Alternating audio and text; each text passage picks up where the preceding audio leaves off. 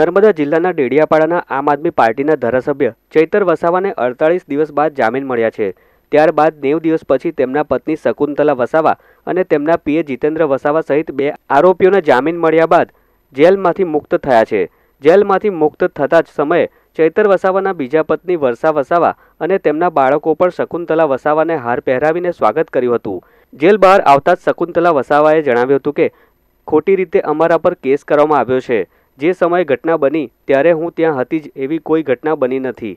ખોટો કેસ કરીને અમને જેલ ભેગા કરવામાં આવ્યા હતા, પણ આખરે સત્યની જીત થઈ છે અને અમે જેલ બહાર આવી ગયા છે. નેવું દિવસથી અમે બહાર આવ્યા છે. અમને જેલમાં તો એમ કંઈ તકલીફ નથી પડી. કેદી બહેનો જેવા રહેતા હતા, એવી રીતે અમે સાથે મળીને રહેતા હતા, નીતિ નિયમ પ્રમાણે જેલના. આવનાર લોકસભા લોકસભામાં ઉમેદવારી નોંધાવાના છે. અમે બધા સાથે મળીને બધા અમારા પાર્ટીના કાર્યકરો, આગેવાનો, બધા આદિવાસી સમાજના આગેવાનો સાથે મળીને અમે બધા મહેનત કરીશું અને લોકસભા જીતીશું. લોકોને તો અમે આ કેસમાં અમને ખોટી રીતે ફસાવવામાં આવ્યા છે. લોકસભાની ચૂંટણી આવે છે તો ચૈતર વસાવા ચૂંટણી ના લડી શકે એટલા માટે અમને ભાજપ સરકારે ખોટી રીતે આ કેસમાં ફસાવીને અમને જેલમાં મોકલેલા છે. એટલે લોકોનો તો અમારા સાથે સાથ સહકાર રહેશે, અમને સમર્થન આપશે અને આ લોકસભાની ચૂંટણી ચેતર વસાવા લડશે અને અમે જંગી બહુમતીથી જીતીશું.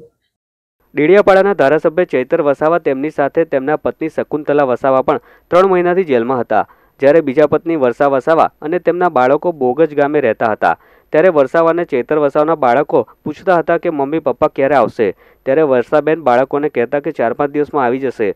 પણ જ્યારે પાંચ દિવસ વીતી ગયા પછી ફરી બાળકો સવાલ કરતા થયા ત્યારે ત્રણ મહિના વર્ષાબેન બાળકોને સાચવવામાં ઘણી તકલીફો પડતી હતી. બાળકોને કેવી રીતે સમજાવવા તે ખૂબ કઠિન હતું. પણ હવે જ્યારે બંને જેલ મુક્ત થયા છે ત્યારે બાળકો પણ ખૂબ ખુશ થયા છે. અને હવે પરિવાર સાથે રહીશું તેમ વર્ષા વસાવાએ જણાવ્યું હતું.